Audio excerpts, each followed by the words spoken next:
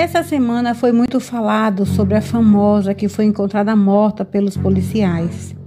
A artista havia se casado apenas há um mês, que revelou à TV Globo. Ela chama-se Nayara Vilela. Ela morreu aos 32 anos no início dessa semana. O corpo da cantora foi encontrado dentro do apartamento dela. A notícia foi confirmada pela rede amazônica afiliada com a Globo, e familiares e amigos e fãs da famosa lamentaram a perda nas redes sociais.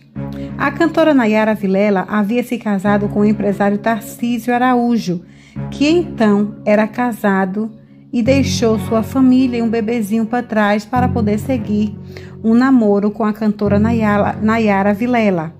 E além da perda precoce, o outro fato tem chamado a atenção do público.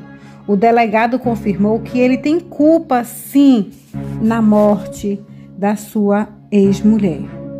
O corpo foi achado no imóvel que fica na cidade de Rio Branco.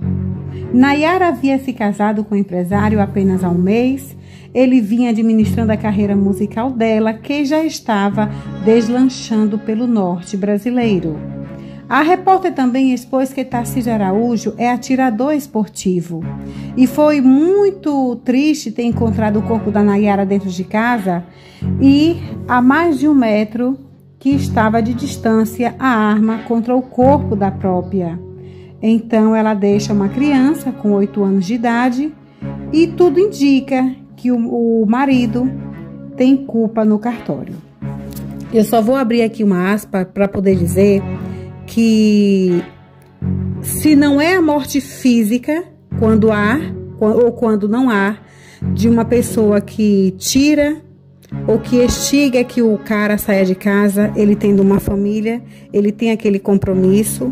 Eu tô falar que o erro são dos dois, né? Principalmente do homem que tem que ter a responsabilidade, porque ele que era casada com a sua então esposa, e a Nayara ela gravou um vídeo dizendo que ela foi a culpada de ter destruído a sua família e que se arrependeria de todo o seu coração e não aguentava mais levar aquela culpa e aquela dor. Há um mês que ele tinha saído de casa para viver com ela e dentro desses 30 dias eles noivaram e se casaram e ela morreu. Então, vale a pena você tirar aquilo que não é seu? Vale a pena você se relacionar com uma pessoa que não vale a pena?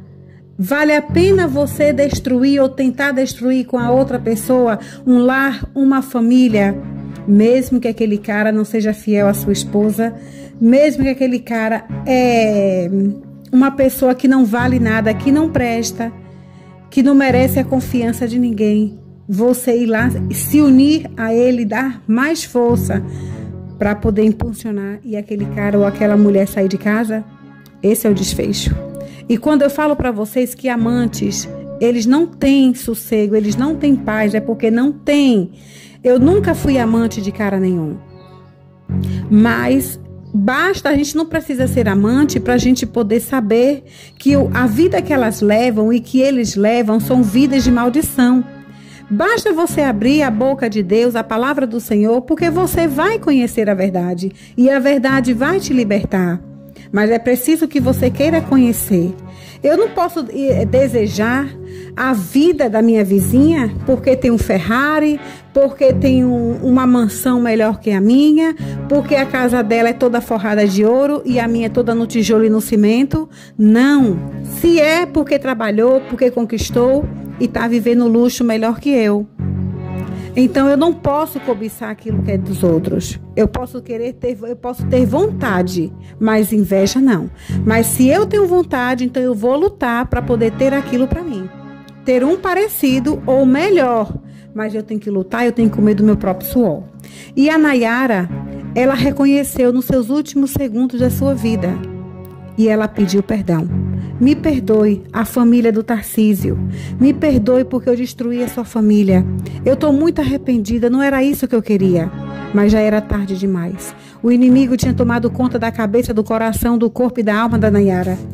E não havia ninguém que pudesse tirar ela daquela situação. A mãe implorou, implorou, e nada deu jeito. Então, gente, fica aqui como um grande exemplo que ser amante é estar condenada ao inferno. Deixa seu like, compartilha o vídeo e inscreva-se no canal.